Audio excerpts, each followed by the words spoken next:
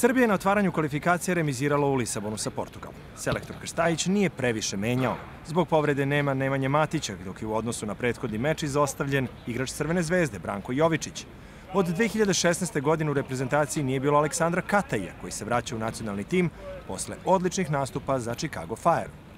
Pratimo ga kao i sve ostali igrače što smo rekli, tako u Srbiji, tako i na stranstvu, tako da radi se o odličnom momku i super igraču koji je u dobroj formi, koji je u takmičarskoj sezoni gdje jednostavno došli smo do ideje da, da je on u ovom momentu nama potreban za reprezentaciju. Srbiju će u mečima sa Ukrajinom u Lavovu 7. juna i Litvanijom tri dana kasnije u Beogradu predvoditi zvezda Ajaksa Dušan Tadić uz Aleksandra Mitrovića, Sergija Milinkovića-Savića, Luku Jovića, Aleksandra Kolarova. Protiv Ukrajine će pokušati da prekinu niz od šest utakmica bez pobede u prijateljskim mečajima. Ne bi odvajao utakmicu ni sa, ni sa Ukrajinom, ni sa Litvanijom nešto posebno. Bez obzira što je, ajde da kažem, na, na papiru smo favoriti protiv Litvanije u Beogradu, ali prva sljedeća utakmica je najbitnija, to je Ukrajina.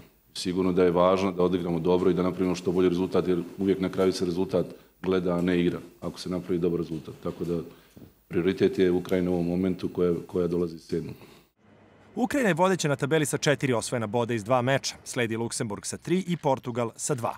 Srbija je četvrta sa jednim bodom i utakmicom manje. Milan Bošković, Al Jazeera.